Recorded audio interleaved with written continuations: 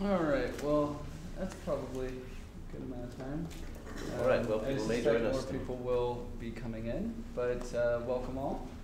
Um, Calling all FLOSS founders. So this is um, vaguely related to some some areas I've been thinking about a lot about uh, people who are starting these free software projects. Um, what can we tell about the projects?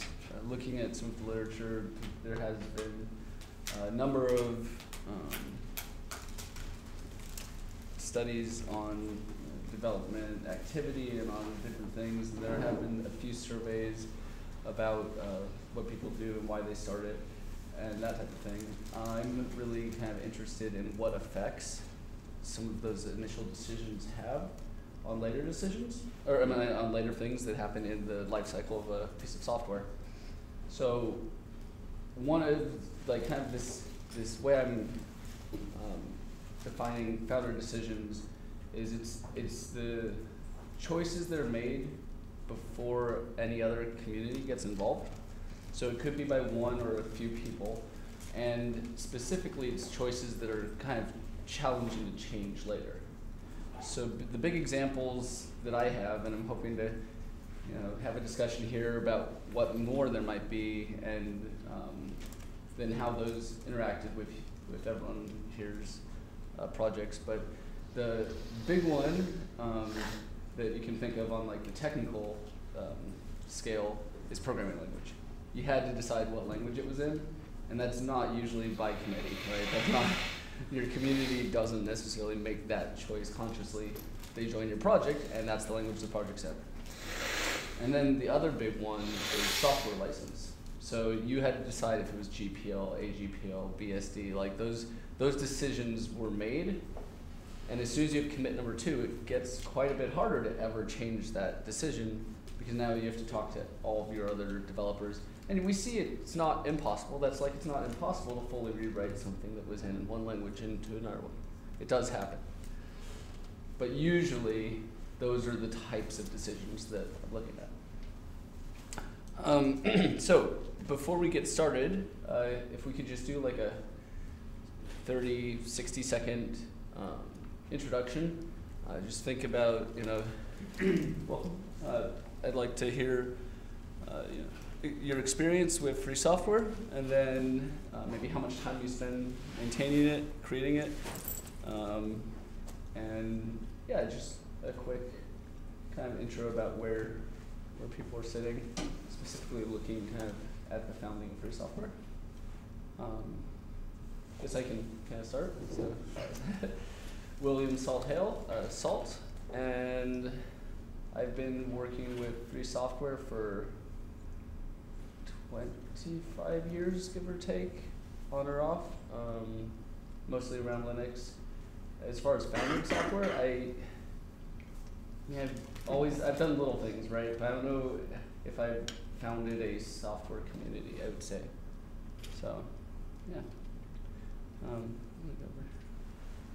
I'm gonna go over. Um, sure. I, I guess that makes me in, right? Um, I'm, I'm Kaylea Champion. Um, I, I guess I've been doing open source. I don't have any communities. Um, but yeah, I, what were the things?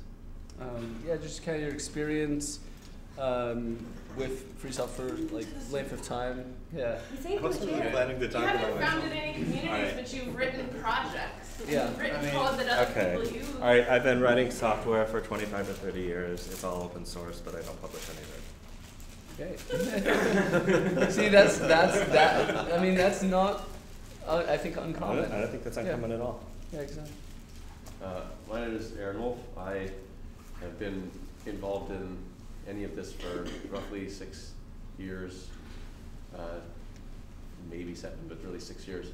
And I am co-founder, uh, initially reluctantly, of the project Snowdrift.coop, which is a software project and also a web platform and a community, and innovating in other ways that are social and economic and things. So it's kind of a craziness uh, in that sense. And I uh, have, have been learning all along the way about all of the different issues and what other people face, and was sort of hesitant, but I didn't get into it to to start something because I was already involved in it. I was hesitant about the entire founding process or whatever else, and had to be convinced that uh, what we were doing was both needed and nobody else was already doing it. Thanks. Um, I'm Amanda. I'm fairly new to the open source community. Um, I'm here because we're actually looking to build a community around our local college um, with open source hackathons and things like that. Uh, Tim will probably talk a little bit more about that. Yeah, sure. Um, I'm Timothy Crosley. I have been in the open source community probably for around 15 years, my best estimate. Um, and I run a bunch of uh, fairly successful Python projects and have built communities around those to varying degrees of success. Um, and then we're also trying to uh, start the open source hackathon. We've done two now, have the third one on Monday. Um, anybody's in Seattle, it's in Lifton Springs. Um, and we also, one of the things that we're trying to do is build more open source in real life communities like that. Um, so we've also been doing other community work, like we helped convince our neighborhood to put its blog in an open source GitHub repository, and people do pull requests to make new articles. Um, It's pretty incredible to break down the barrier of folks being able to make edits to the online website. touching a little bit on what you said earlier, when I started out open source work, it was all um, because I don't have a degree, and while I was too young to get a degree whenever I started, it was all to build sort of a portfolio of work. Um, and that sort of shifted now that I want to make maintainable projects because I started seeing projects I built. People would still use them, but they weren't being maintained because I had other things to do.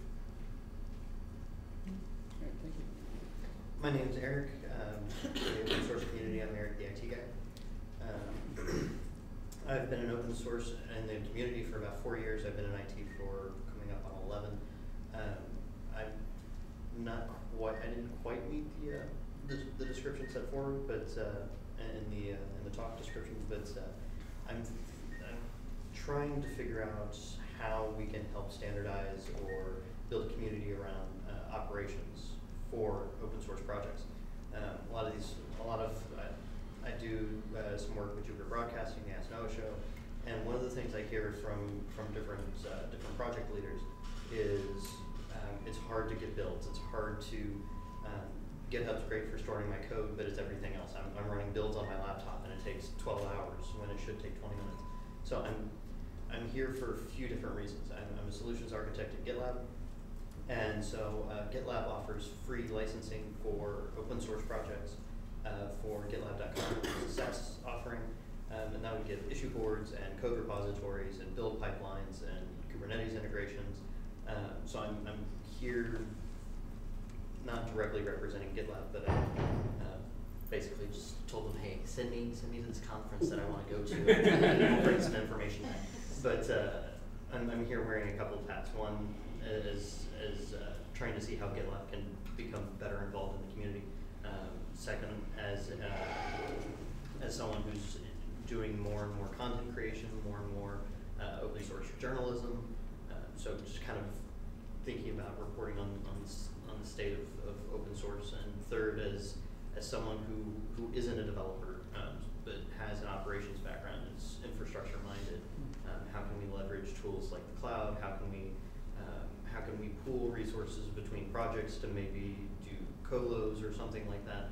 Um, I, I don't. It's it's a very ambiguous idea in my head, but just trying to figure out how we can how we can pull all the community's resources together and have shared shared compute power um, as opposed to someone who runs a, an entire distro trying to do their builds on a laptop. So just kind of trying to get a feel for how how we can as a as a community can work together and share resources.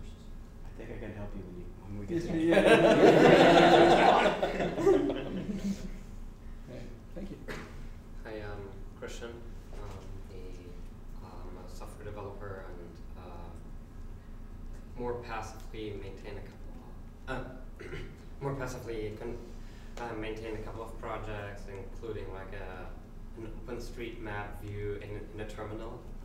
Um, it, uh, I, I took most of those projects over because the original maintainer didn't uh, care for them anymore. But now I feel myself like, oh, this is like quite overwhelming to be dealing with all of these issues that had been filed over the years before. Uh, some bug requests, others sending pull requests for features that I'm like, this is definitely out of scope. Um, and yeah, then dealing with these discussions if this like should this be an add-on or like I really don't see this in the scope. Um, uh, but on the other side, also encouraging new PRs to come in for for bug fixes or for new functionality that has been decided on. This is in the scope.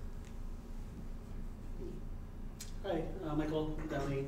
Um, I got involved with open source, I guess, I guess started with Linux around 19, 20 years ago, now I think about it. Um, about 15 years ago, I worked to set up an open source usability lab uh, as part of a grad school program. And these days, uh, I work for the United Nations Foundation and run our open source program there.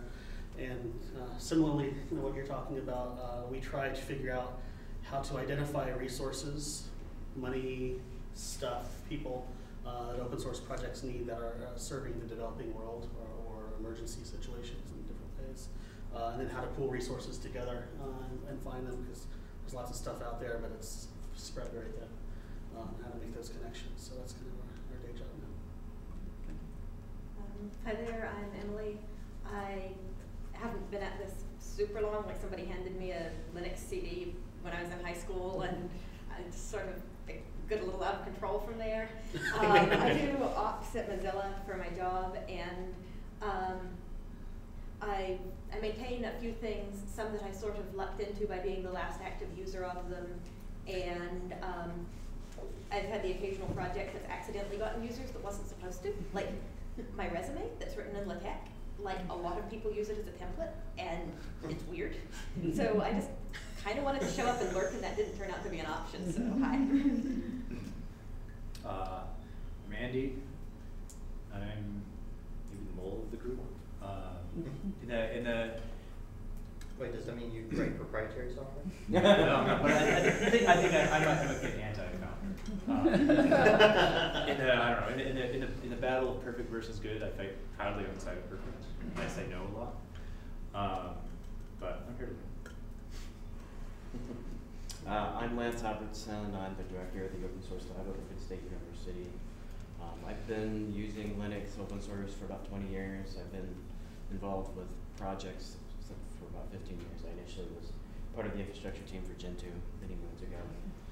Um, but um, these days, running the lab, we primarily provide infrastructure resources for a lot of open source projects. Um, whether that's co-location, we have our own private cloud running OpenStack, we have our public mirrors.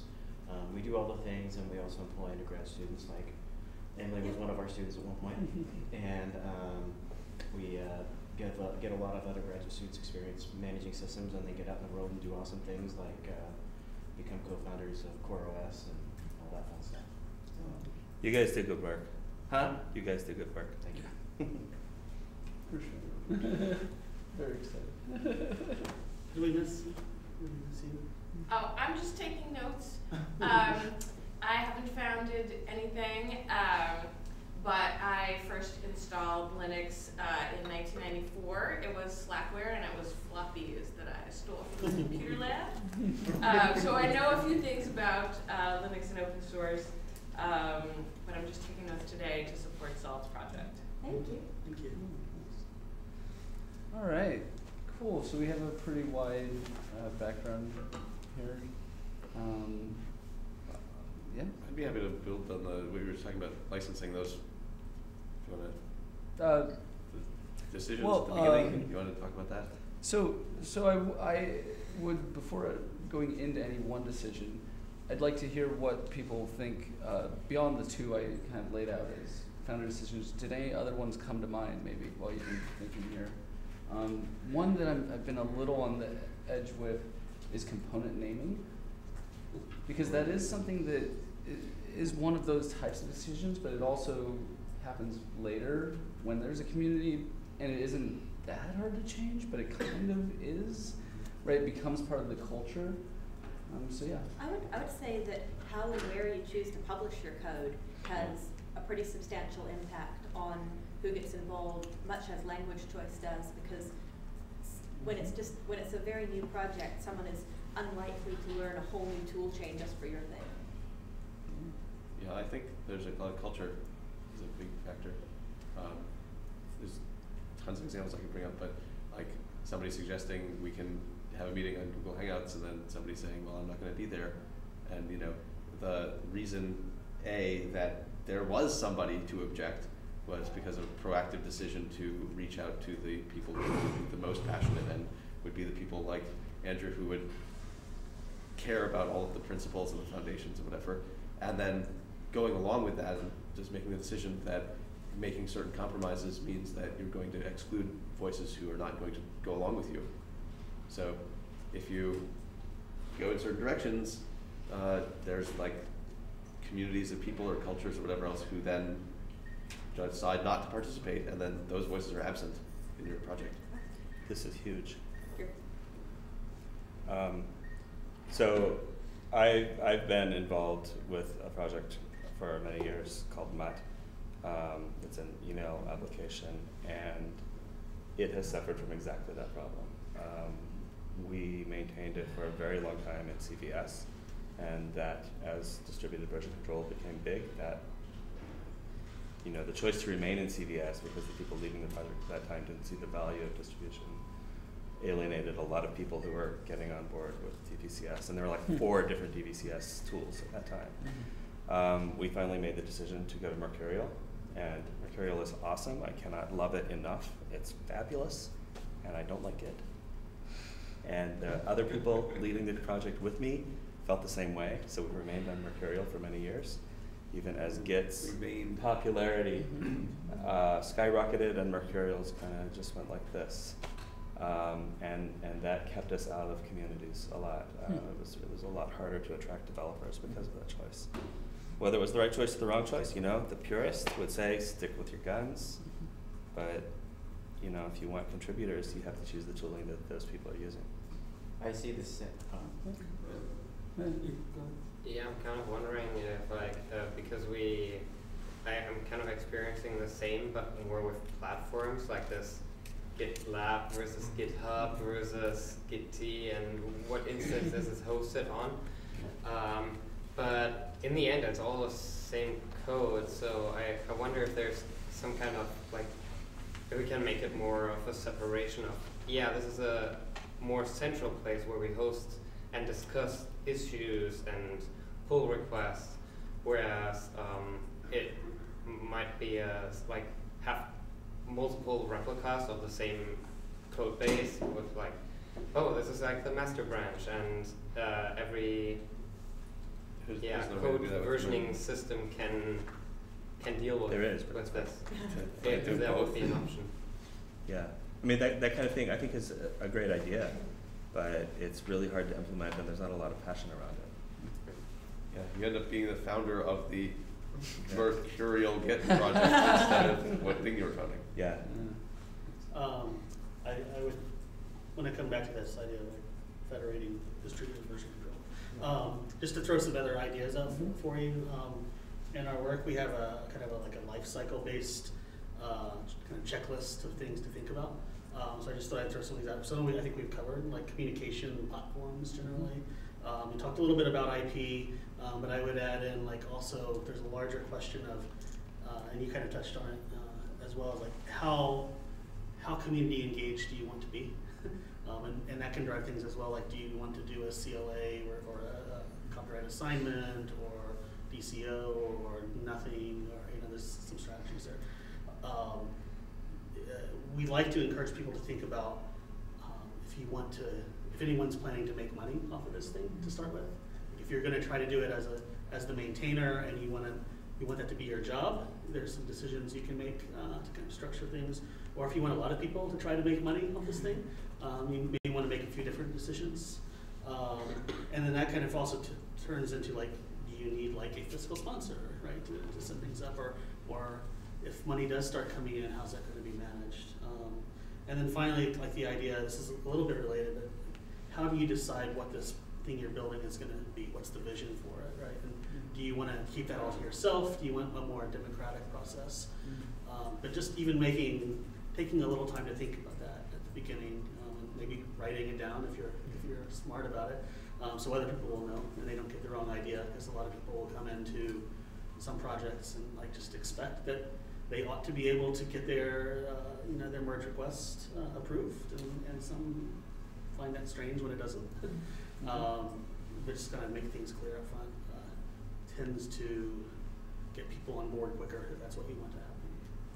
Building off of your vision comment about investment of time, of investing time into documentation, into, you know, what your vision is to help ease onboard new folks is something that we, I, I think a lot about versus, you know, creating, writing code. Yeah, I've, I've been thinking a lot recently about the best ways to do that sort of shared vision approach. Like bigger projects, it's hard. A lot of projects start small. They start with one or two people, and they they grow. Um, but whenever you have a lot of people, it's really nice to have an RFC type approach or something like PEP8 or or not PEP8, but PEPS for Python. And I'm not sure about the best way to sort of bootstrap that process. I haven't seen a lot of smaller GitHub repos or GitLab repos have it. Um, you might take a look at the Chef community. Um, of course, they just deprecated the repository, license change, but they had a process where they had a, a repository where they had all of their RFCs there, and they would discuss everything there, and they would have the weekly meetings. We're kind of in the process of changing that, but that was a pretty good method, I thought, for getting community involvement in things. to call back to what Aaron was saying about how tech choices are gonna exclude somebody. Um, in a broader sense as well, um, since society has groups of people with mutually exclusive beliefs, you need to decide at some point what you're going to do about that. And not deciding is itself a decision. So by setting forth some sort of community guidelines or ideals, you can avoid the situation where you just, you get the status quo of whoever shows up first. Because the status quo of whoever shows up first to a brand new tech project because they like new tech things is often, by definition, not going to include the kind of people who don't necessarily have as much time to put into tech projects, let's say. Uh, and might be underrepresented for a bunch of systemic reasons. And so I feel like the Rust project did a really good job of being conscious of those community decisions and how when you have mutually exclusive groups, you either have to pick which one you'd rather have, pick a way of keeping that out of your project, or just deal with whoever gets there first. Because removing them later is, um, ask Benno Rice sometime about FreeBSD's attempt to um, start having a code of conduct if you would like some stories and sadness of what happens when you just let whoever gets there first get there first and try and fix it later. Uh, so, code conduct, speaking of that, was also another one that's come up a little bit. Things like that. Um, we've talked about some of this starting documentation, starting expectations, right, about what your project will be, the type of expectations. I mean, some of that could be seen through license, maybe, but um, codes of conduct or documentation templates. Another topic um, is about understanding your context, like how it fits into whatever else exists. So, um, briefly, sort of my experience was not starting off to be a startup of something and deciding that I wanted to understand what the scope of everything was, and that if I was going to start something, I felt that almost to prove it to myself, because I would be the sort of critic who would say this, that uh, I had to do the due diligence and figure out everything else that existed to make sure that I wasn't being the jerk who like wasted all my energy on some new thing when somebody else could have super used my help to end up creating the thing that I was trying to do anyway. And uh, then I've also had the experience since then of validating that idea because despite having done all the due diligence and publishing it to show everybody about all the things that exist in the space that we're in, I keep running into people who say, "Oh, but I already started. I you know registered the domain on Friday, and so I'm going to keep going with my thing instead of helping the things that already exist."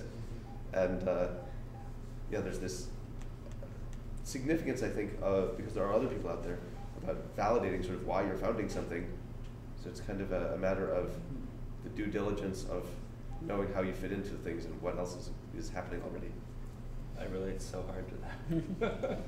I mean, I've written I've written hundreds of programs, um, at least, and where are they? I don't know. They're they're on my hard drive somewhere, because finding out whether those things already exist, whether they're and uh, you know, of course for a long time they weren't because open source wasn't that big, but finding out whether those things that I was looking for already exist somewhere and whether I should be throwing in with somebody who I then have to politic with in order to get the goals to meet the goals that I'm looking for.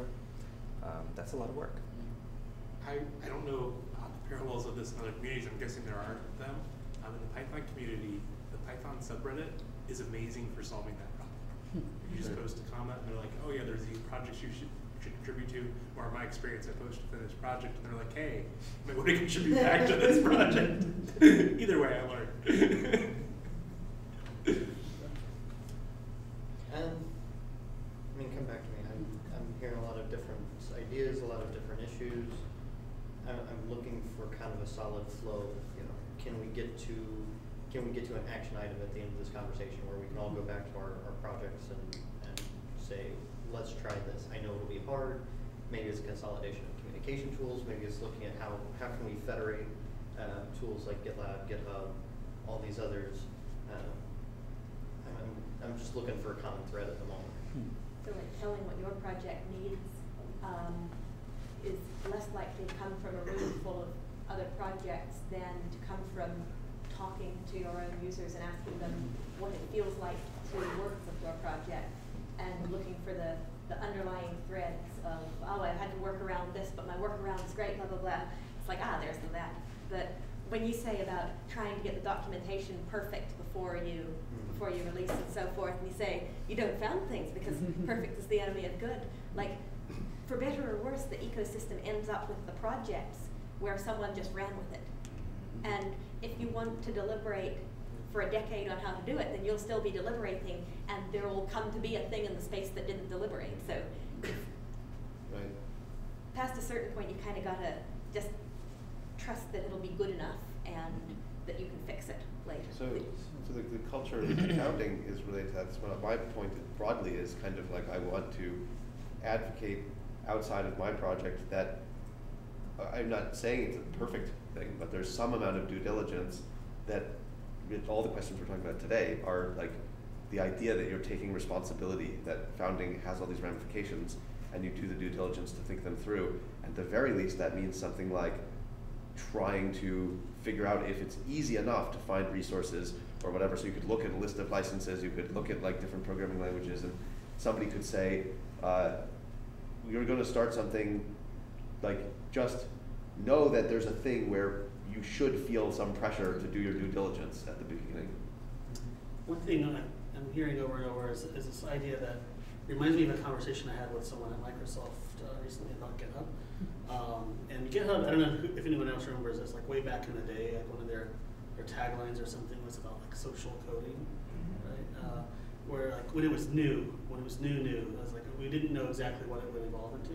Um, this idea where like you could actually easily understand all of the work that was going on, right? And who else was doing things similar to me or thinking about things similar to me?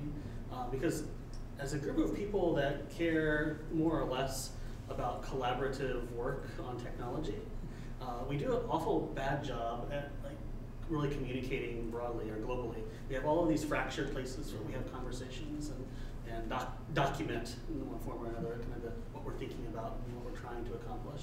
Um, and there's very poor visibility across all these fragmented systems. And uh, that's why we, and you meant, maybe I mentioned it first, like the federation idea of how can we connect all of these somehow more, these conversations happening.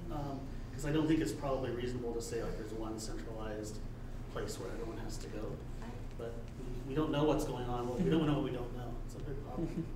I disagree quite strongly with the intuition that the Federation would fix it because the way I feel about knowing what else is going on in the space is that there are too many data points about what other people are doing. And I don't need to double or triple or quadruple the number of data points flowing at me. I need synthesis of it. Mhm. And where are, are there other areas of thought where people manage to do that synthesis somehow, whether it's centralized or not, or has this problem been solved in any other discipline of human endeavor? I think that's a great question. Yeah, I, I just was gonna say, my, my first inclination is so aligned. This is kind of meta, but, uh, when I came into the tech community, my main thought was, like, why does Agile exist? Why does et cetera, et cetera? Because these, the, everything that everybody's talking about is not tech specific. It makes zero sense to me that tech is creating their own solutions to anything that isn't tech, because all of it exists in like a hundred times larger world out there. Why don't we just use, like, build on the ideas that exist? I have speculation on that, but I, I think it's not as good as the rest of the conversation Yeah. could be, so we should chat. So like, like to your point, one of the problems that, that we keep talking about is coming back to naming conventions or licensing schemes. All that information about what the different licenses are exists out there. But there's some over here, and then there's some over here, and then there's this half-finished website that someone set out to collect all that information and bring it together, like you're talking about. We have eleven standards. Mm-hmm. We should make And now we that's, have that's, 12. that is exactly what I'm. In the time it took us to say that, another standard emerged. Right, exactly, and that's the problem, is you're, you're talking about, you're, you're never going to get the tech community to consolidate to a single set of tools. GitHub used to be the de facto standard for, for a distributed version control. Probably the biggest change to that that I could see is when Microsoft bought them, because there are so many developers out there that have such a bad taste in their It's the mouths from, best thing from what for you guys. Microsoft did. Yeah, I'm- To, to be clear, I'm wearing my open source contributor hat right now, not my GitLab hat, because I was hired after that happened. Uh, well, actually, Microsoft buying GitHub is probably why GitLab had the money to hire. That's why they had the money. Yeah, exactly. But, uh, wearing my open source contributor hat, I'm, I'm thinking along the lines of, I know a bunch of projects that's, the, the day that was announced, moved off Mhm. of GitHub, because now Microsoft owns it, and Microsoft has this, this reputation It's, that yeah. it's gonna take a couple of generations, if ever, for them to lose that stigma Mhm. of the nineteen nineties version of Microsoft. The day So- that was announced, the GitLab page had load problems. Yes, it Yeah. is. Um, one thing that I kind of want to see if we can think about here is the people you consider around you um, when you're founding projects. Did did did you do you? Is it usually a solo endeavor? I mean, that's at least the the myth we tell ourselves, right? So I wouldn't have done what I did But uh, well, I know you, you you're mentioning co-founder for sure. So, um, but but what what do other people? I mean, in my experience, a lot of things are little scripts or little projects for myself. Right? It's not even with the intention of being a founder, but I'm sure that's not always the case.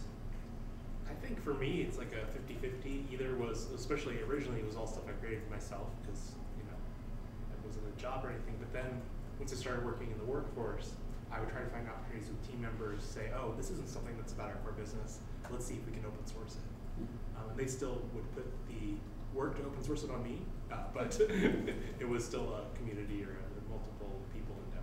I, yeah, I think it, it, it usually is a, a, single endeavor initially for some things. It's usually it's scratching a specific edge, but it kind of depends on the situation. If it's a group of individuals working together on something and they can maybe on together and decide what they do, that's one way. Or it's one person's like, I wrote this tool, I don't know if anybody wants it, but I open sourced it, and now it becomes this big thing. You know? um, so yeah, that's.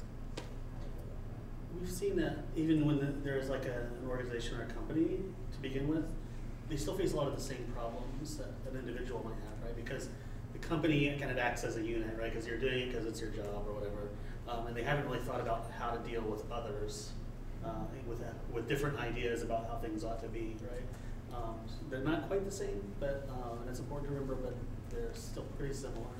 Um, yeah, I, I think wide majority start out that way, right? Because I mean, all ideas, you know, maybe a lot of people have the same idea, but somebody actually kicks it and Yeah. kicks it off and finds other people who are like-minded eventually. But we're not. I would contrast starting a, an open source project um, against doing a group project in school. And the, the main difference, I think, is that when you're doing a project that meets some need of your own, you kind of need to be working with people of an extremely similar background, extremely similar problem, because there's really complex ideas you need to be able to articulate to each other. And you can articulate those ideas faster if you think more alike. And they take a super long time to articulate to someone who's just radically different from you and has a totally different approach. Whereas on a school project, you just, you're four random people from random backgrounds, and you can hardly get anything done because you spend most of your time defining your terms. And so I think that also happens to be near the root of the like diversity problems that a lot of communities complain about because you kind of can't efficiently work together to get the mm-hmm. core thing that proves your idea is worthwhile if with people who think too differently at the very start. Right. Yeah, I have a really specific experience with that because basically I am here because somebody who is much more experienced than I, long experience, you know, sort of convinced me like, you can do it, we can do this together, et cetera. Mm-hmm. Just a person who had this sort of attitude of, we can go through all of the work that it takes to bring anybody up to speed. We can, you know, and I, I really appreciate this sort of, we had came, we started from the very beginning with the foundation of a culture that sort of everybody can participate. There's something you can do, and there's ways we can, we will help you along, et cetera. And I still am not sure what to think about this, but as it worked out, I can chalk up like extreme amounts of investment that went into maintaining that in the sense that uh, people, it's instead of just like jumping to just, okay, you're not quite ready to do what we need, we need this person who's like an expert. Uh, we really encourage this like community and building of, as many people as possible in diverse community. And although I still support that and I value all that, I, it, it's definitely extremely costly. And there's like all these people of uh, somebody who spent a year or something uh, eating up time from everybody else, getting help even, you know, and in some cases it's like that, that's the person who turned into the most dedicated, you know, but on the other hand, it's like, you know, whatever. Maybe it was one out of ten that kept going, and the other were like, we ended up spending a lot of time helping them or whatever else. That was just like an experience that they got, and, and we got nothing out of it, but it's a lot of cost. I feel like you got lucky that nobody else um, snuck up behind you and moved a lot faster. Uh, no, and, that's happened. Like, I mean, in our space specifically, uh, we started before Patreon existed. And, Right. uh, Yep, we- if we So- had first mover advantage and we had all the Yep. right tools, Yep. uh, we would have been like, our vision for open source and everything needs to be public goods would have launched before Patreon existed. I mean, that's dramatic, like That's first mover trade-off. advantage, like the, the world would be a different world today. If we had just had all the, we gathered together the team of the world's greatest experts who cared about what we were doing and we all did it, instead of saying like, well, I I got into this because I don't know the whatever, and then I'm being brought up to speed, and we're- we, we cares about engaging the community, and, and we're all volunteers, we didn't do the VC thing, whatever, and, It's a huge means marketing versus cash. ends question for like, inclusion. sure, sure, there's parts of that. But look at all the issues that uh, surround Patreon, right? Oh, I mean, they are, just the short of it is, they are VC funded, so they're on that path, and no matter what, they're screwed, that's their path. Like, they can't stop at, we are functional, because they have to keep giving an exponential return. And that path is, it, that's the path for everyone ever if you go down that path. So, That's a, that's a, talking about founding decisions. If you go and do your fundraising and you get like investors, that's, you know, every single investor based, you know, you're gonna get a return. Floss project is a totally different beast. It's on a totally different trajectory than than the others, So, even, um, even if it's free sorry software. to sidetrack, but so we have GitHub being a big player and GitLab being the little guy. We have Patreon being a big player and Snowdrift being the little guy. GitHub goes boom, and suddenly everyone's on GitLab. Patreon goes boom in its own way. What's different that we don't suddenly have everyone on Snowdrift Um, in the same way? Well, the fact is that GitLab is uh, VC funded as well, and so they have all the funding and they are on that same trajectory and they're just further, further down the line, so that's why they exist and they have all, that they can hire him and et cetera. So, Uh, that, that's the that's the fact of it. But we do get every single time Patreon screws up and like pisses people off. We get a bunch of people on the internet sharing the Snowdrift doesn't exist yet, but they put together this page of the 70 other things that are alternatives to Patreon, explaining it all. And so this is the best resource in the you know out there. Here, everybody, you should look at this wiki page. so that ties into something I was thinking about, and this idea, the, the source was ridiculous. I think you should be highly involved with uh, Elon. It's a it's a space-based MMO, right? Uh, it's society simulator. Let's not enjoy it at all. We Right, okay, okay, yeah. All right, I, I feel better about myself now.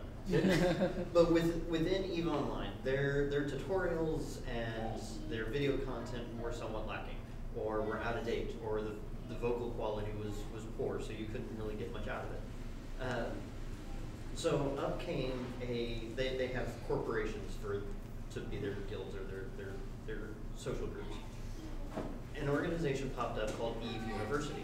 You could join as a, as a new player, and you could join other new players, and there were experienced players who would conduct raids, who would do mining operations and this kind of thing, um, and would take new players under their wing. And there was mentor programs, and there was recorded classes, there was live classes where you'd log into the game and, and you jump on mics and, and you could learn about the game. And Eve University ended up putting better content together, a better community together than the parent organization. So I'm wondering if if that's something more that the open source community needs, and I, I preface this with maybe an organization like this exists and we just need to put more more of the community's power behind that organization. But if there was a group out there that had connections throughout the community who could who could be supported by Snowdrift, who could have hardware, who, who could have Oh, let's access to hardware, who could have basically an open source job board of um, someone who, who goes out there and curates his job board of we can That's basically what I do. Yeah, basically, it's right now. We just need to talk. Yeah. So, but Aaron, real quick, Yeah. I don't think that saying the difference is they have money is necessarily a complete answer. No, it- Because what, what work is getting done with that money that isn't getting done through volunteers? And why do you have volunteers that will do work A but not work B? I think, you know, you have to, s- in my experience, like the, the most important thing you start out with, that everything else follows from, is release early, release often. yes. You have to be releasing to be competitive. Um, the projects that I have that are successful, I do an immense amount of work to onboard people, more than I probably should, but they're still successful only because I release often and I release early. Um, The question of what successful means is a whole other fascinating thing, but. Yeah, no, I- And as far as users, people I think. I mean, I think money, I mean, Snowdrift ironically is about funding, and the point is, if I believed that the challenges we're talking about weren't really fundamentally tied to capital at the end of the day, like having money and resources and the privileges that come with that. Um, and, you know, the volunteers being the people who work at a company that, they're paid a lot more than they need to just get by, even then they're, they're privileged enough to not worry about spending some extra time on whatever else or have this extra free time. Um, it- the, the core economics of it, if it wasn't, in my view, primarily living at that level as the main differentiating thing, I wouldn't have founded Snowdrift. Because the entire point is that we think most of the FLOSS projects that have potential that aren't reaching it is because of that reason. And that's what we're aiming to address at the core level of it. And GitLab was a compromise because GitLab is on this track, does have this enterprise sort of thing, and just like every, there are people who are shocked, although I was not at all shocked about the buyout of, of GitHub.